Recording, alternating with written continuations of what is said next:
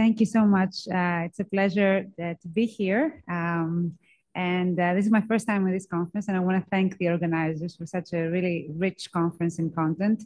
So I come from the other world of ultrasound that has been peppered here uh, in a few places. I think Shai showed some stuff, and uh, um, Andrew alluded to it, and then with some really nice posters yesterday. Um, and I also represent the other side of Manhattan on the west side, and uh, it takes about an hour and a half to get there. So start walking now. so uh, I was asked to talk about function ultrasound, and I added also the ultrafast or ultrasound localized microscopy. And I'm going to show you how we can push the resolution, but we can also push both the temporal and spatial resolution to the point where we see things very similar to what Dimitri showed that you can't really see by naked eye. Uh, not to that scale, though. I have to to take the disclaimer of that. Um, so the functional ultrasound is uh, borrowing from functional MRI. Um, so it's a surrogate of doing uh, CBV and CBF uh, uh, maps uh, using ultrasound. It is not a technique that my group has developed. This was developed by Michael Tanter in, in Paris, in Institut Langevin.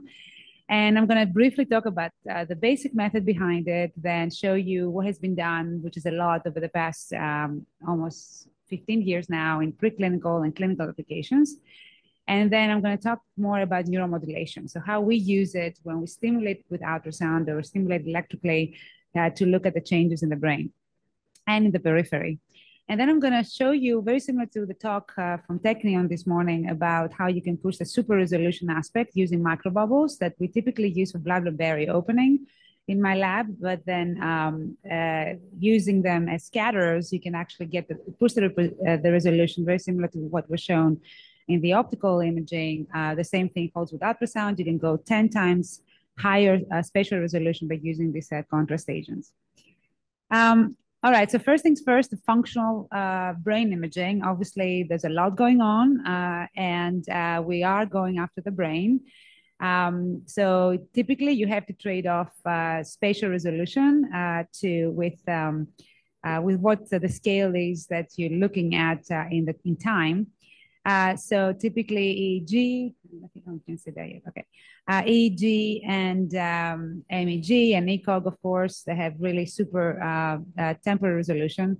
Uh, and that uh, and then PET is on the other side, obviously, um, can get the whole brain, but uh, on the order of minutes, if not up to an hour.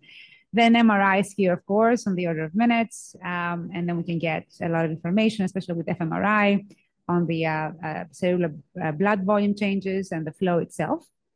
And uh, so there's a very rich field. And you can go from brain mapping that we that was shown today, uh, functional connectivity, and of course, diagnosing pathology. So what can ultrasound do? Um, so uh, we call, again, this modality functional ultrasound imaging, uh, FUS, uh, or FUSI, some people call it, uh, analogous again to fMRI. We can track the cerebral blood volume. And then the main thing is that we can do spatial temporal filtering uh, using single value decomposition. So this is where it gets a little bit uh, more um, subjective. So it depends what kind of flow you're after and what kind of uh, single value decomposition filter you're going to use. But it does get you uh, somewhere in between uh, fMRI and EEG and MEG when it comes to uh, the temporal resolution, which we know ultrasound can push it up to thousands frames a second. So that's the main thing um, that I also want to convey. We're going to really, really high frame rates um, so you can get high flow, but also slow flow. Um, so it is based on uh, power Doppler, which typically uh, uses uh, the Doppler effect, but with an autocorrelation where you're actually looking at the power under the curve. Uh, so typically when you have just anatomy images that look like that, so obviously ultrasound and the brain anatomically, we give that with the MRI. So you guys on the right line of business. Uh, but when it comes to functional, uh, we can do a lot. So basically, you can do a high pass filter again with a single value decomposition, and then you can start looking at uh, different blood vessels according with the, uh, to the actual flow, and then you can separate them according to the timeline uh, on the power Doppler. Um, and then you can look at individual pixel intensity. Then I'm going to show you later on. Uh, it can uh, also show you pulsatility of the actual brain.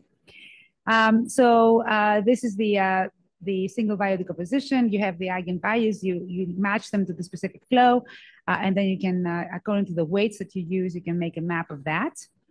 Um, and then if you are doing a stimulation, such as I'm going to show you uh, uh, a lot of the electrical stimulation that we do, but also the focused ultrasound stimulation, uh, you can match that. You can do convolution um, with that response, uh, with a hemodynamic response, and then you can see which parts of the brain are highly correlated with the stimulus that you have uh, going into the brain. And then you can perform correlation, and then you can look at the pixel intensity like I have up here, uh, or a whole correlation map.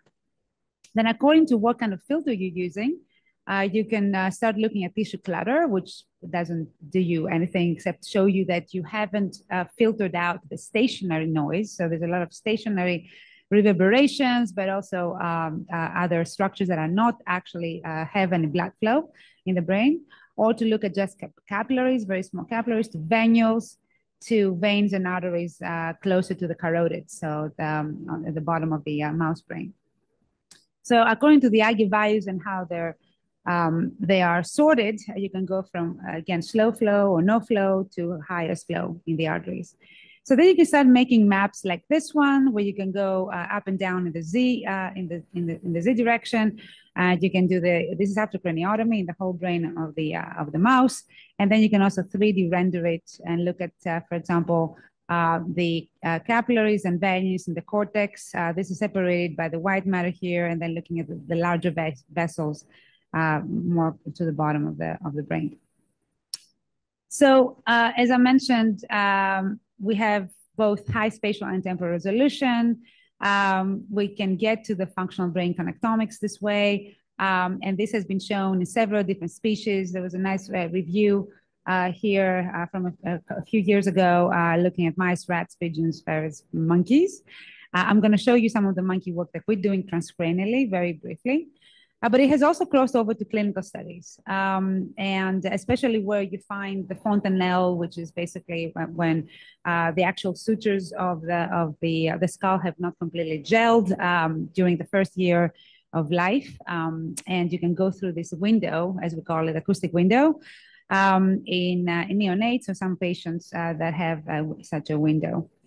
So it has been a boom over the past decade or so about using this pretty much uh, clinically, uh, looking at resting states and also freely, freely moving rodents um, to uh, head fix mice and doing the whole brain as well.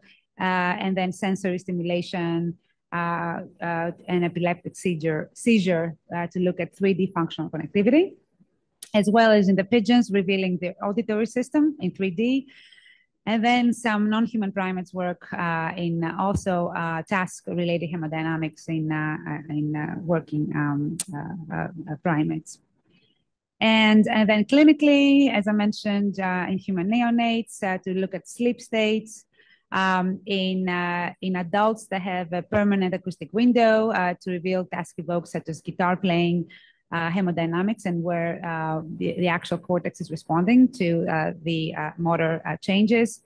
Um, intraoperatively is also being used to look at motor tasks and then also to reveal mouth-sensitive evoked brain activation. So, um, so I'm going to show you some of what we do in, in my lab, and a lot of that is not published, which I'm not happy about, but I'm going to share it with you.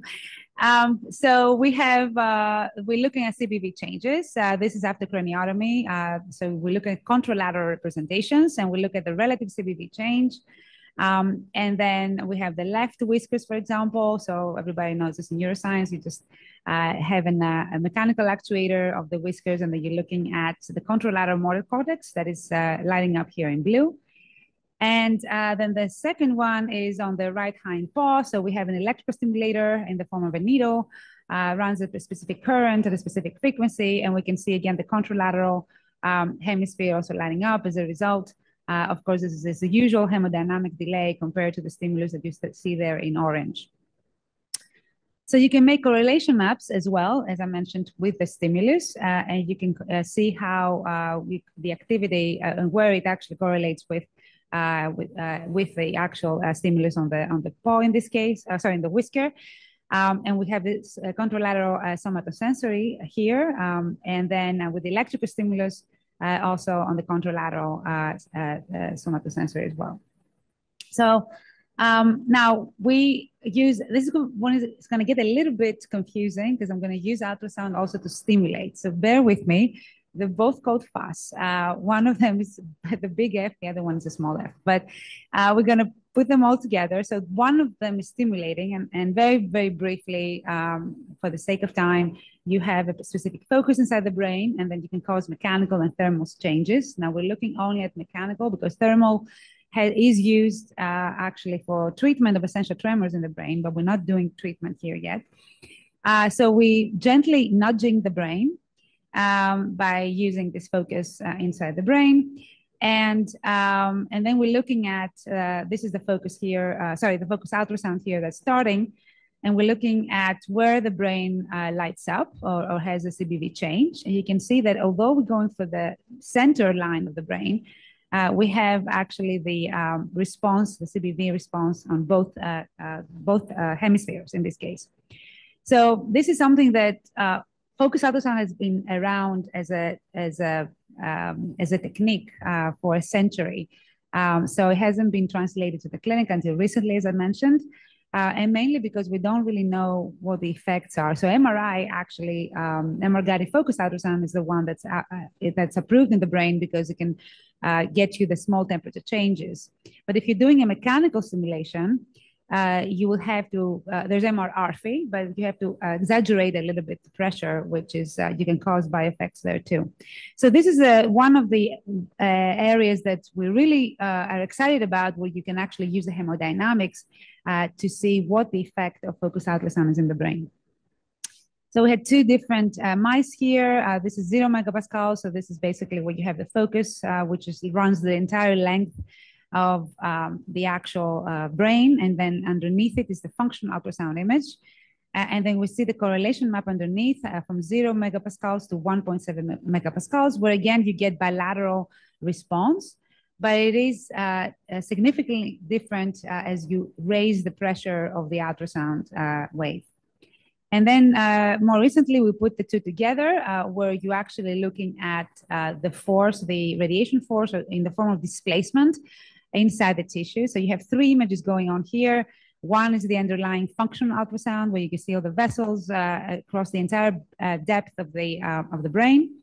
then you have the flash, which is basically the actual on in red of the ultrasound and off in blue. So that's the actual displacement, which is in the order of microns. And then what's left here at the end is the actual CBV increase, which we see a lot subcortically. So we're very excited about those results. We're trying to understand them um, because we expected more of a motor, uh, uh, sorry, of a cortical uh, response, because obviously the ultrasound is on the top and we have less attenuation in the cortex than we have subcortically.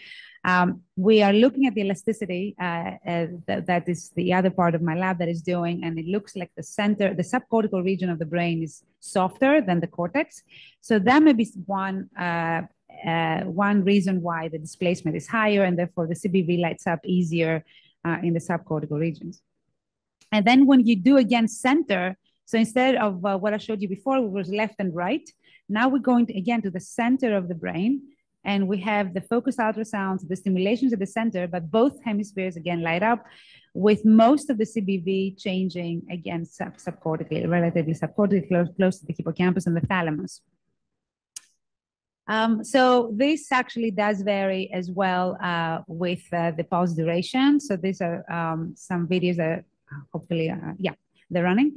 Uh, so if you have one pulse of the ultrasound, and this is only on the uh, uh, left hemisphere, and again, this region of the thalamus close to the hippocampus is actually the one that's responding the most.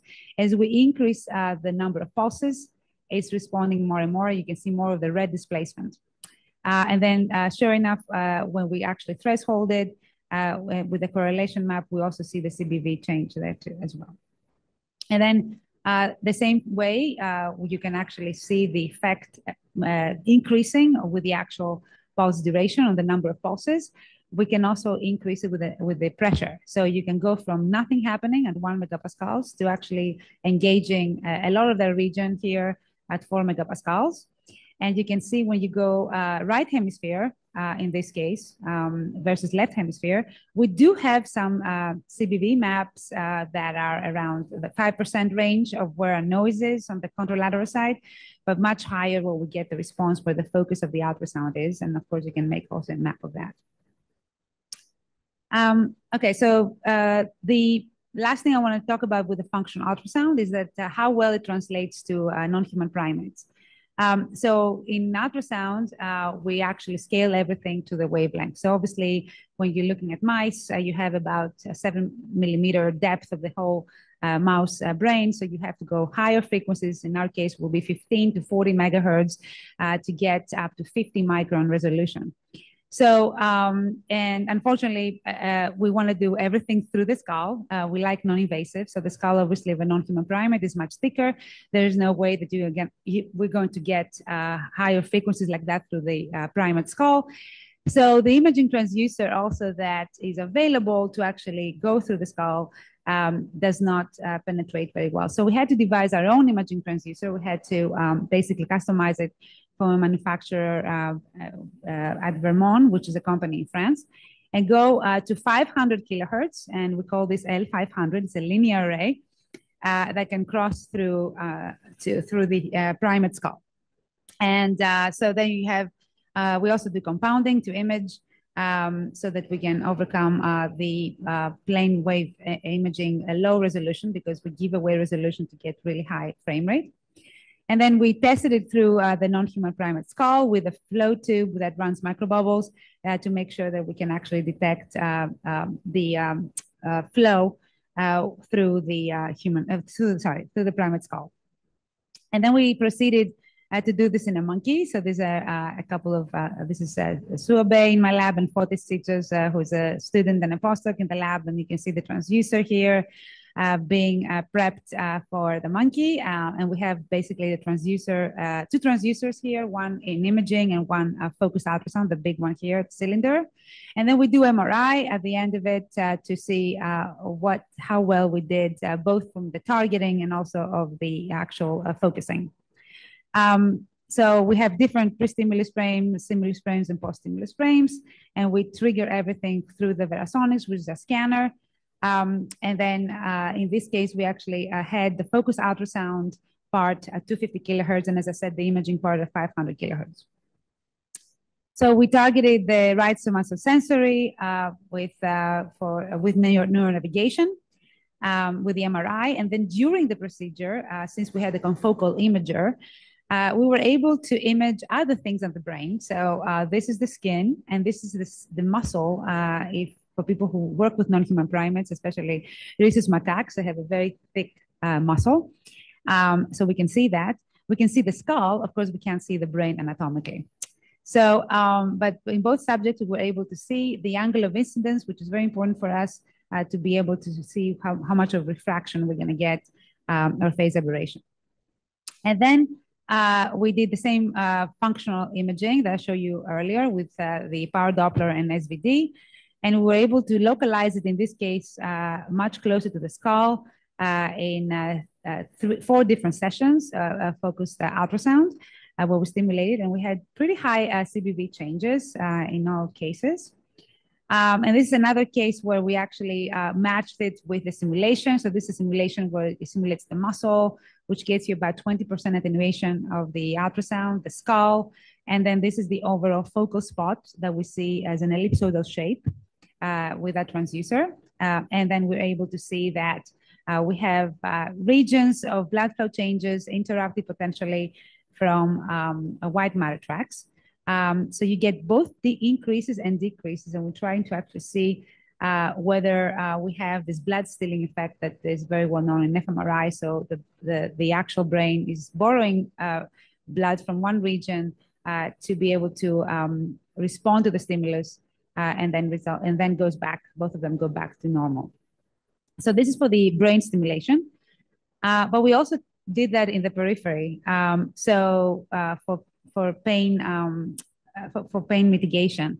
So uh, in this case, uh, you split the transducers. You have now the imaging transducer on the on the brain, and uh, we use again very high frame rate um, and uh, and then we do the stimulation on the nerve. So this is to uh, mitigate neuropathic pain uh, non-invasively.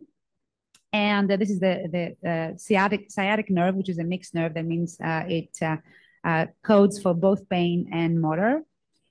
And then what we looked at is the the actual functional ultrasound before focused ultrasound during focused ultrasound on the nerve and then after. And what we found out was again, some regions of the cortex are lighting up, but also the subcortical region here.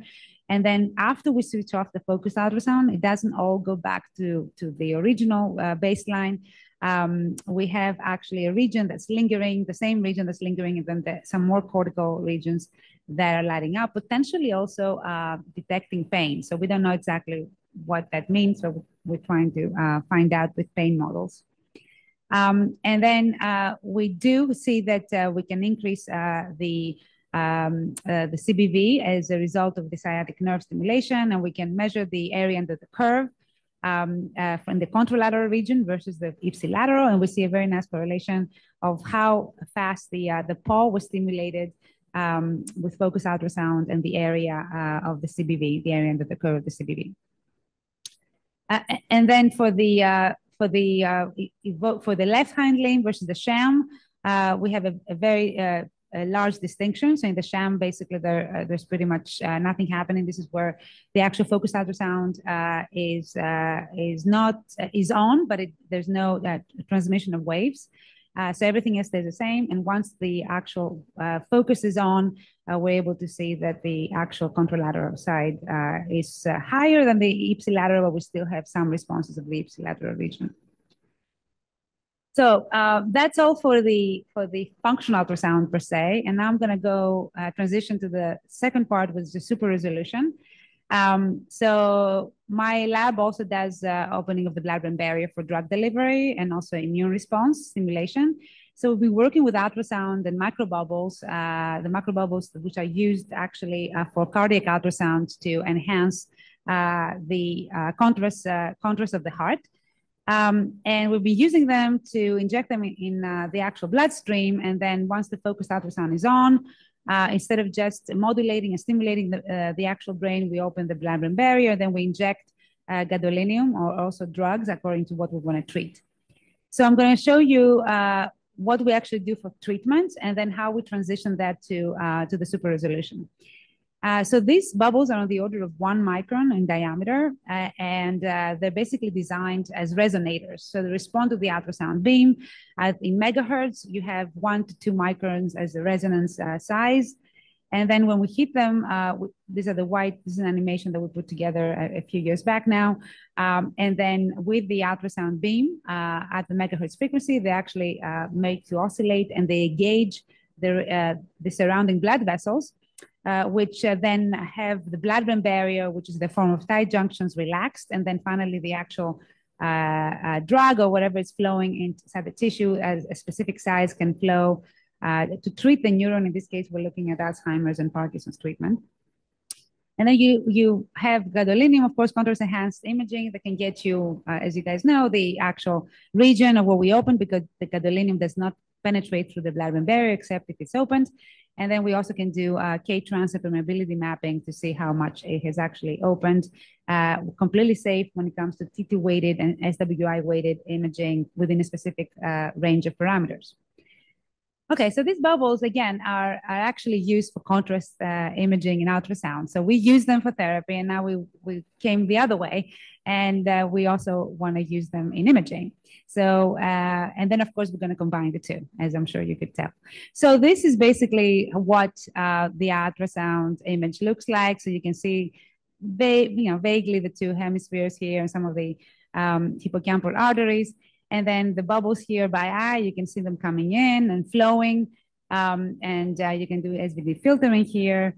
And if you were to track these bubbles, now uh, uh the, the resolution in, on the ultrasound uh, side, as I said, is on the order of uh, 100 to 50 microns max. Um, and then if you do actually uh, tune that to the bubbles themselves, which are one micron in diameter, you can actually push that down to five microns, so tenth, uh, one tenth of the resolution that you uh, started with.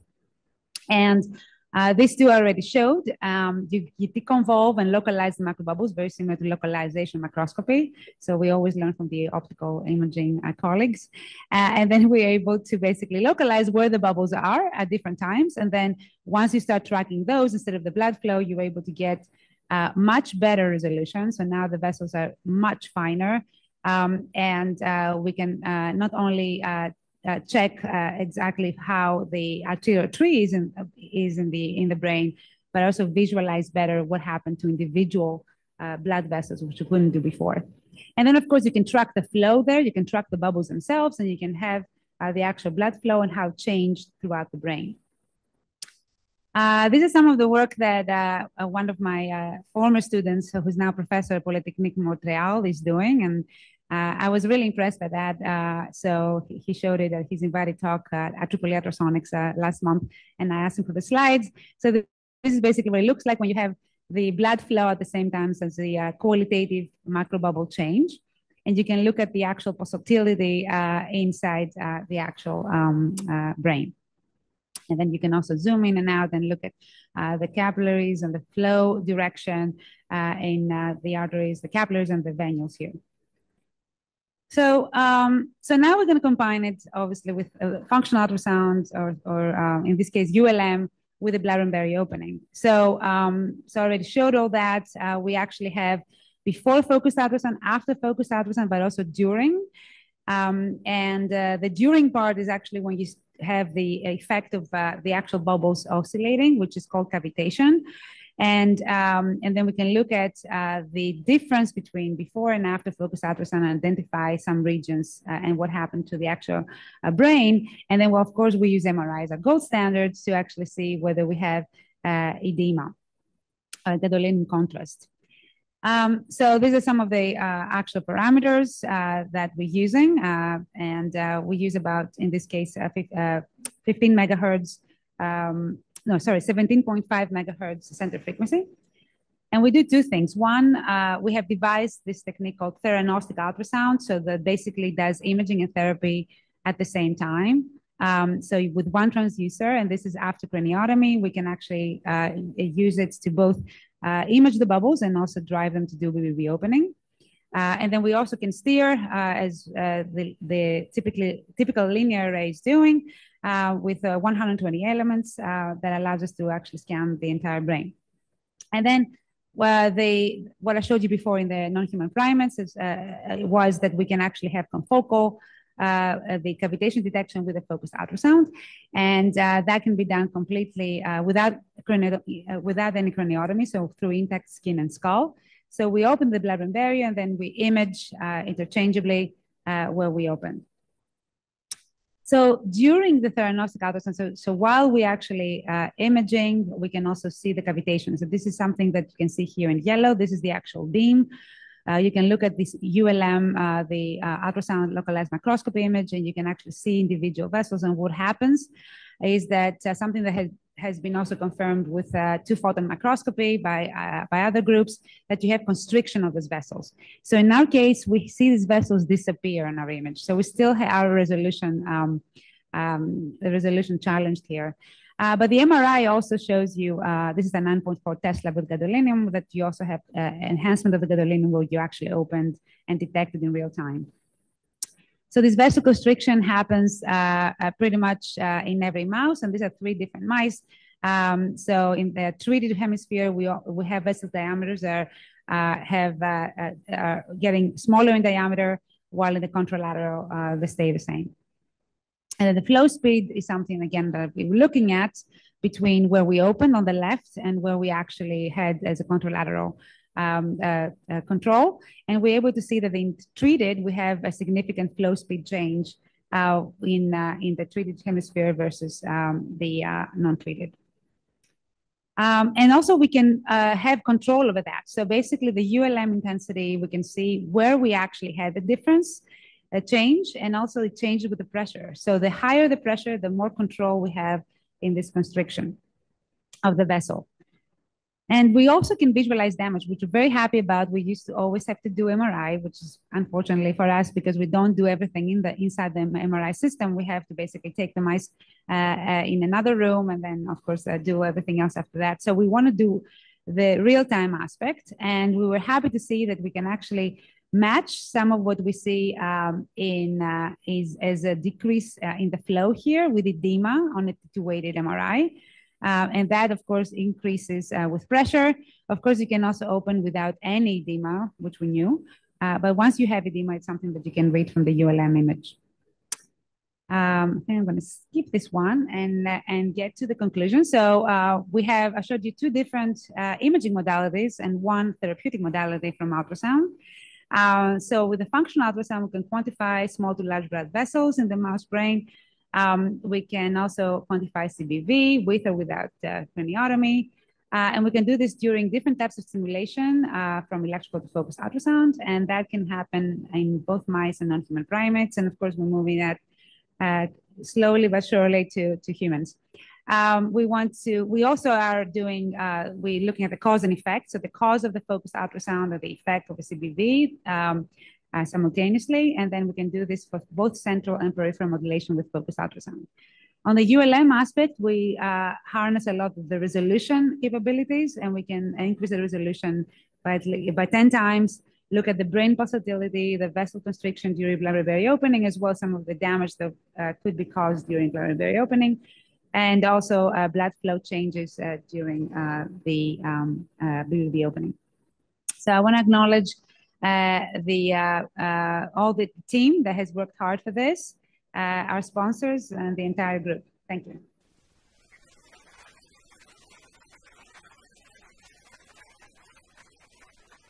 Thank you so much. Uh, amazing images.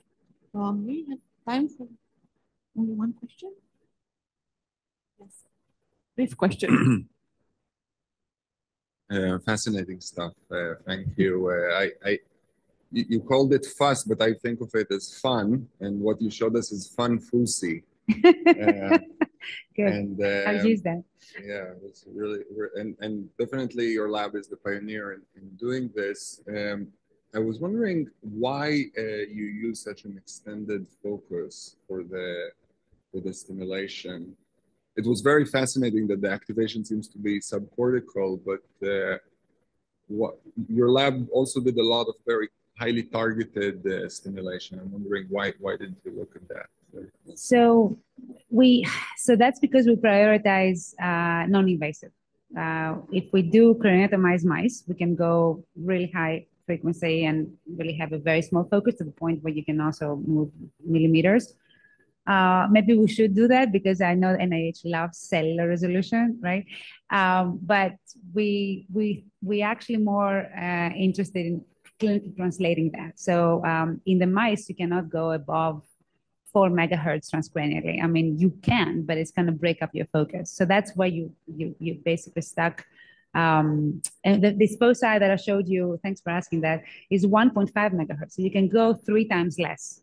And that's why the more localized at the uh, thalamic region of the hippocampus and thalamus there, that was at four megahertz. So you, you can actually go down to about three millimeters now, transcranially. And uh, someone else comes, uh, can you can you discuss uh, the, the, the localization microscopy is really amazing.